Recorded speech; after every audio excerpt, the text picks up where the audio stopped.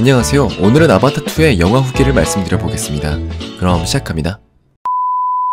제임스 카메론 거장의 아바타 시리즈 아바타2의 물의 길이 13년 만에 속편이 바로 어제 개봉하였습니다.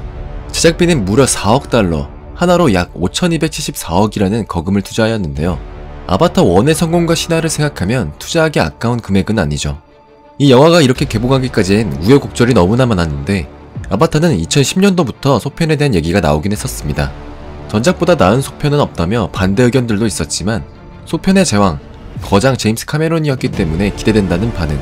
결국 2013년에 후속작에 대한 계획이 발표되었고 2014년에 호빗 실사영화 시리즈에 사용되었던 기술을 사용할 것이라고 발표하였고 2015년 아바타 시리즈는 5편까지 각본이 완성돼 있다고 발표 2017년부터 아바타 3랑 동시에 촬영이 시작되었습니다. 그렇게 2018년 11월에 촬영이 종료되었고 2020년에 개봉할 예정이었지만 그 질병으로 인해 2년이나 미뤄졌던 것. 많은 것을 준비할 수 있었던 시간이 있어서 그런지 영화의 러닝타임도 상당히 긴 것을 알 수 있습니다. 무려 1시간 12분이나 되는 내용입니다.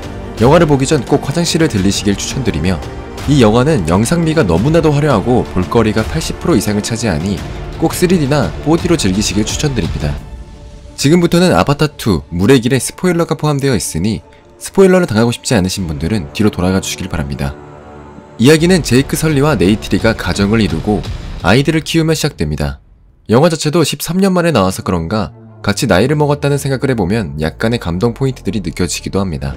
그렇게 이 영화의 모든 원흉, 하늘의 악마인 RDA는 우주선들을 이끌고 숲을 불태우며 나비족들을 쫓아냅니다. 그렇게 판도라에서 1년 만에 도시를 건설하여 앞으로 지구를 대신해서 인간이 살아나갈 터전으로 바꿀 계획. 그렇기 때문에 나비족들과의 전투를 피할래야 피할 수가 없습니다.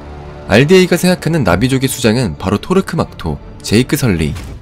물론 첫 영화의 빌런인 마일스 쿼리치 대령이 다시 나비족으로 재등장하였고 제이크 설리가 RDA를 배신하여 그런 것도 있겠지만 영화 내내 지겹게 제이크 설리를 따라다니며 괴롭힙니다. 자기 자신 때문에 피해가 계속 생기는 거라고 생각해 토르크 막토의 자리를 내려놓고 오마티카야 부족을 떠나는 제이크 설리. 이 부분이 개인적으로도 아쉬웠습니다. 싸울 생각을 하지 않고 도망치는 꼴이라니. 물론 이러한 과정을 거치고 아바타 3, 4, 5에서 뭔가를 터뜨려 주겠죠. 3시간 12분이나 되는 긴 이 영화를 보면서 느낀 좋았던 점은 영상미가 진짜 말도 안 되게 미쳤다는 것입니다.